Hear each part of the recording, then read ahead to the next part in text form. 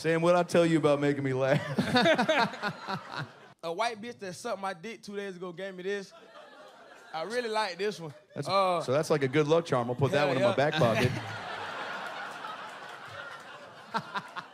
and, and oh, thi- Yeah, and then you left a. Okay, I don't know if this was on purpose, but Kam left a bullet uh, in his. Uh, okay, well, we'll be right back. I feel like. Uh, yeah. What the fuck? I oh shit.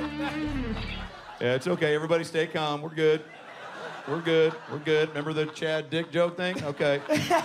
Holy fucking shit. All right. Quit touching it. Yeah, I'm No, sorry. keep, tou- keep touching it. Keep Yeah. touching it. Touch it again. Yes, rub it. Rub it together. Yes. It's like a dildo for Brad Williams. okay, that's funny. Fuck you. Brad is a great comic. Go see him on tour.